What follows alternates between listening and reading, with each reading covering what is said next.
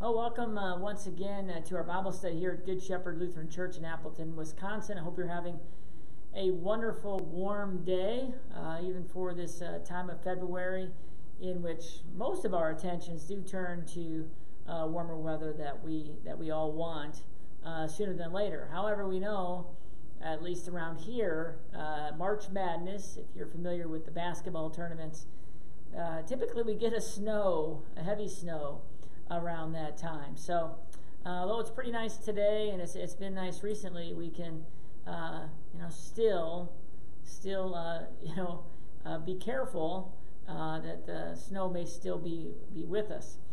But as we think about the snow, we think about Lent upcoming, really, as we conclude Epiphany. Uh, God gives us great instruction today, Jesus, on loving your enemies. Love your enemies. And so, our prayer as we get started uh, Martin Luther, Doctor and Confessor, February the 18th. Uh, God of grace and mercy, you loved the world so much that you sent your servant Martin to help turn our hearts to you. As we celebrate Martin's feast, may we give thanks for his counsel and listen to his wisdom. Martin's heart and mind were always fixed on your Son, burning to follow him. May we, with your help, also follow Jesus with a single hearted focus. In Jesus' name we pray. Amen. So, really appropriate. Uh, loving your neighbors. Martin Luther, uh, knowing the love of Jesus, and uh, also then uh, wanting to uh, love as he has first been loved. And that's what we uh, need to focus on when we talk about enemies and, and neighbors is we love others because, of course, God first loved us. So Jesus says, But I say to you who hear, uh, love your enemies. Do good to those who hate you. Bless those who curse you. Pray for those who abuse you. To one who strikes you on the cheek, offer the other also. And from one who takes away your cloak, do not withhold your tunic either. Uh, for me, when I think about uh, this text, uh, is the fact that we have to even talk about enemies. I don't like to talk about that fact. I don't like to think about the fact that we have enemies uh, in our lives. It's not God's intention at all. Uh, Satan became an enemy because he rebelled against God and became jealous of God. Enemies are not uh, the way God wants us to live uh, with Him and with others. So it's hard to even think about or talk about enemies, but it, but it is our reality. So, as in all things, what God's Word helps us to do, what God guides us to do, is to understand our living conditions and still live in Him and for Him. So, to live godly and Christian lives. So, this is, this is part of it. Um, how can we possibly keep on loving our enemies? All right, how can we do this? Well, simply put, is that we are Christians, and that means to follow Jesus, and Jesus says so. So we are, because Jesus commands it. And when he gives a command, he doesn't do so without the possibility of it being carried out. So Jesus commands, and the Holy Spirit guides. So the Holy Spirit is equipping us, strengthening us, helping us to uh, not only have this relationship with God, but carry it out uh, in our lives. So we can't do it on our own, but we are to do it because Jesus commands, the Holy Spirit guides us. Um, and because it's the right thing to do, it's, it's right to, to do so. Does Jesus offer the other cheek also suggest that you must stay in and just endure an abusive situation? Now, this is where, you know, our misguided logic and, and trying, I think, to find ways in which we can uh, wiggle out of God's commands. Uh, we just talked about uh, divorce and uh, the union between man and a woman, and, you know, they would question Jesus' teaching on that. Well, does this mean that well this this possibility this possibility exists and therefore you know we can't get divorced anyhow? Again, the fact we have to talk about this means that there is corruption in our world, that things aren't the way uh, that they they need to be, and the same is true uh, when it comes to abusive situations. Uh, when people want to do us physical harm, uh, is this a good relationship that God says, well, of course you have to stay in it uh, because, well, you're in this relationship and this what means loving your neighbor. No, God also gives us wisdom. He gives us the understanding uh, to not uh, put ourselves in those situations and remain in those. These situations that occur, we're not necessarily putting ourselves in these situations. I mean, they are just a part of what it is to be a Christian in our world. You know, we're going to suffer hate, we're going to be cursed, we're going to be abused, okay? This is what takes place just as the fact of being a Christian. So this has nothing to do then with being in an abusive situation. It's just part of our lifestyle. So the answer, of course, is no. You don't have to stay in it uh, because it is something that doesn't affect your role as a Christian. And and to, to use the godly wisdom that God has given you and to make good decisions uh, in your life um, is important to do. We also can maybe reference, if you want, uh, appropriately, uh, the fourth commandment. Um, is there a time when we do not obey those who have an authority over us? And God's word gives us the counsel.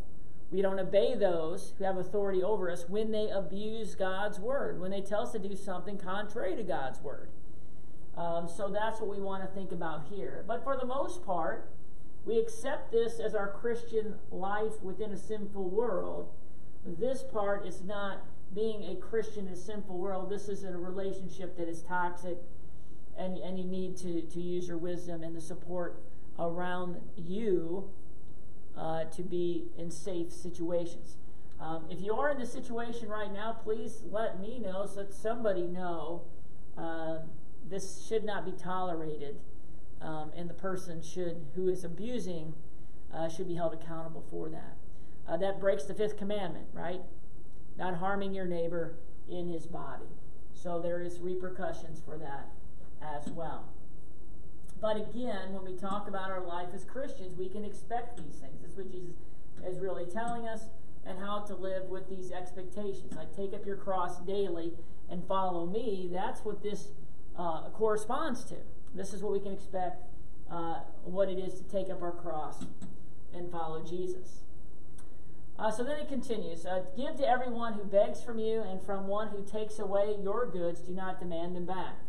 And as you wish that others would do to you, do so to them. We know this is the golden rule do unto others as you would have them do unto you. We're going to take a look at this again here uh, for a Christian disciple, what is most, uh, what is more important than hanging on to, onto or getting back what belongs to you? You know, our attention has to be on our brother who is, you know, is committing committing sin, and and and being a Christian example in all circumstances. Now, we oftentimes just throw out what would Jesus do? And we talk about what Jesus do when it's convenient for us. This is, these are the times when what would Jesus do isn't convenient for us. I mean, Jesus submitted himself to those who hated him, and when they beat him, when they mocked him, when they ridiculed him, he did not uh, defend himself as he could have, maybe as he should have. But if he would have, it wouldn't have been, it wouldn't have completed our salvation. Um, so we want to serve as a Christian example. Uh, we want to deter, you know, those who take our stuff, steal. That's breaking uh, the command. But ultimately, as you hear so often, um, if somebody is committing a crime with you, call the proper authorities. You know, let them handle it. It's going to cause more problems uh, than good. And also tells us there are people who are greedy and, and just again miserable sinners in our world. So, how do you reconcile making the spiritual values of God's kingdom your primary concern uh, with a citizen's responsibility uh, to be concerned about and to work at stopping crime and apprehending, punishing criminals, uh, they go hand in hand. You know, we, we live in the kingdom of, of the left and the kingdom of the right. We live in the kingdom of, of God and, and the kingdom of man. Uh, there are rules that govern our lives that God has established through our leaders. So, as we think about punishing and apprehending and stopping crime, we should all be concerned about that because crime against others is crime against God's word, and that is a part of, of uh, the values that we also carry uh, with us in God's kingdom. The difference happens for the Christian is loving your enemies still. Ours is to forgive those who ask for forgiveness. The world will tell us, as Jesus just said, the world says, um, you know, that we should hate our enemies and, and, you know, seek revenge and all these other things. Jesus, the spiritual values that we incorporate into our law keeping, is one in which we want to maintain the law, keep the law that God has given to us. We don't get to break it as Christians. Um, and then to practice forgiveness, which is uh, our responsibility. As Jesus forgave those on the cross. You know, Father, forgive them, for they know not what they do. Jesus, as you wish that others would uh, do to you, do so to them, uh, says. Uh, it's the golden rule. It's not uniquely Christian. Again, this is the extension of our lives here and our spiritual lives, our Christian lives. It appears in one form or another in many of the world's religious and eth- ethical systems. What does the Golden Rule say t- uh, to you for your personal life? I mean, it's just simple. We love ourselves. So we love me. And so I want what is best for me. So, best for me. And therefore, I want what is best for my neighbor because it's best for me. Best for my neighbors, best for me too. Indeed, it's selfish, but it actually works when it comes to keeping God's commandments. You don't want to be stolen from, don't steal from others. You don't want to be uh, killed, don't kill others. You don't want to have a, commit adultery, don't commit adultery, you know, against you. So, um, yeah, it's self-serving. You know, what is best for me um, is also best for my neighbor. So we keep this this wonderful uh, balance and understanding of uh, loving God, loving our neighbor, uh, adhering to God's commands is what we should always want to do. Um, and that is do unto others as you would have them do unto you. If you're okay with, you know, someone committing adultery and killing and stealing, you go do the same, but then you're not being a Christian either uh, in pursuing that and carrying it out. There are those who say, I try to live by the golden rule and are serious about it. They work hard at it and may be quite successful at putting it into practice. What is missing in a golden rule approach to life, even when seriously pursued, that keeps it from fully encouraging and implementing the principles of Christian discipleship? And this is the, the pro, this is the uh, Good Samaritan here. The problem is that we're still sinners. Sinners still.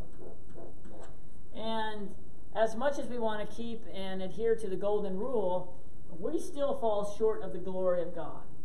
It's a wonderful way to demonstrate our life with, the, with Christ, but uh, from fully implementing it and fully doing it, uh, just like any perfect law keeping, we can't do it. I mean, this all makes perfect sense, right? No one's going to disagree uh, with this thought. No one. But like so many things in our lives, sin gets in the way and corrupts what, what can be. Um, but, but this is the Garden of Eden. And we don't live in that anymore. Um, we can pray for world peace and love for our neighbor. It's never going to be fully realized here. Doesn't mean we don't pursue it, but, but it just won't. And so that's why, you know, we, by the Holy Spirit, remember earlier, um, guiding us in God's Word to, to, to keep you know this balance in our lives and live for Christ in the midst of the strain and stressors uh, that we all face, in, the, in, basically living with others each and every day, and and wanting our light to shine before others. So if you love those who love you, what uh, what benefit is that for you? For even sinners love those who love them. And if you do good to those who do good to you, what benefit is that to you? Even sinners do the same. And if you lend to those who whom you expect to receive, what credit is that to you? Even sinners lend to sinners to get back the same amount. But love your enemies and do good and lend, expecting nothing in return, and your reward will be great. And you will be sons of the Most High, for he is kind to the ungrateful and the evil. Be merciful, even as your Father is merciful. And the, the concluding of this uh, text goes, Judge not, and you will not be judged. Condemn not, and you will not be condemned. Forgive, and you will be forgiven. Give, and it will be given to you. A good measure, pressed down, shaken together, running over, uh, will be put into your lap. For with the measure you use it, it will be measured back to you. And we talk about uh, also the fourth commandment here um, that it will go well with you when you honor those in authority. You'll live long on the earth. You know, less less strain, less stress, less tension. Uh, so, what motivates Christian disciples to go beyond the natural love of family and friends to pursue the ideals of the kingdom? Loving even those who abuse them and practicing a detachment regarding material things. What is the motivation? That it is God's love to us. That's, that's what our motivation is this perfect, complete love in Jesus who died and rose for us, that heaven is our home, uh, the world is not, that we can make uh, the world a, a, while we're living here, a place that closer resembles God's word by living according to it. So, how can we live in the fact that, try as we may, we can continue to fall short of these ideals? Um, it's a fruit of the Spirit, right? The response to God's love is good works, and it's loving others. So, God's love, if you know this, you still are to love one another and, and to effort for that. I mean, people talk about making the world a better place all the time, and, and we should strive for that. Um, but if you're not going to love your neighbor, then you're not accomplishing that, and Christ is really not in you. How do you reconcile Jesus' judge not, condemn not with the Bible directives to rebuke, admonish, and discipline? You know, this is this overreach we have today in which uh, people will use this, these, these words to say that it excuses their behavior. So, right, if, if, if you remove the law, which is judgment, then everything goes. So, is there any accountability today? We know who the judge is. So, Jesus is the judge. This is the judge, the ultimate judge. He gives us His word as a guide for our lives. As Christians, we know to break the word. So if we break the word, that is sin, and sin leads to death, and Jesus will judge us to death.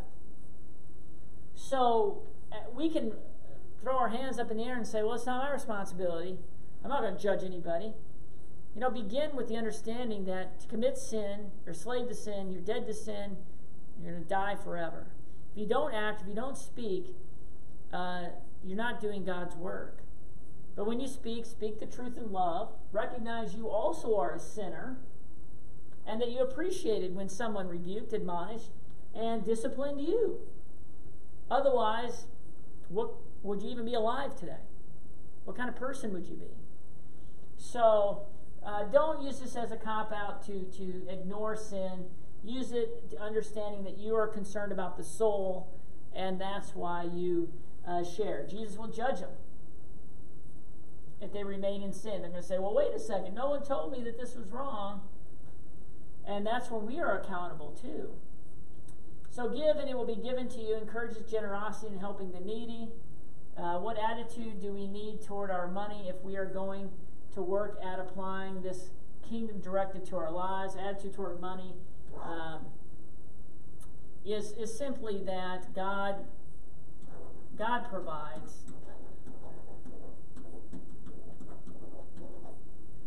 Um, you who are active tithers out there, or maybe experiencing it for the first time, I can understand that um, God God blesses us, and we don't deserve it, but uh, we understand that God is working in all of our means that we have to be a blessing toward others. So um, it's not as if we're giving money so as to have more.